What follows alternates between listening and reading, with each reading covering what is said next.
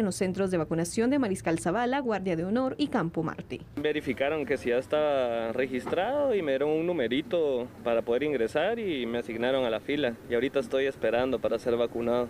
Ya, ¿Con quién más viene? Con mi hermana y con mi papá. ¿Y cómo se siente que ya va a ser vacunado? Ay, bien, súper. Aquí apoyando para que salgamos lo más rápido. ¿Cómo se enteraron de que podían vacunarse aquí en este puesto? Pues fíjese que nos llegó un mensaje, entonces nos dirigimos lo más rápido posible.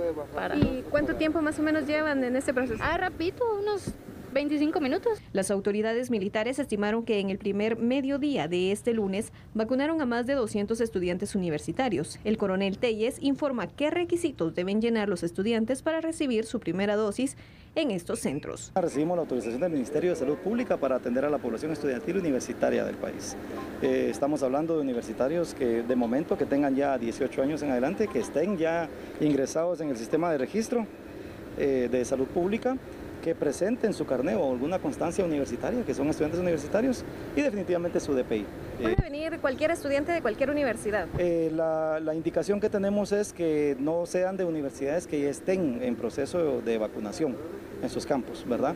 Pero eh, igual acá los estaremos atendiendo cuando vengan.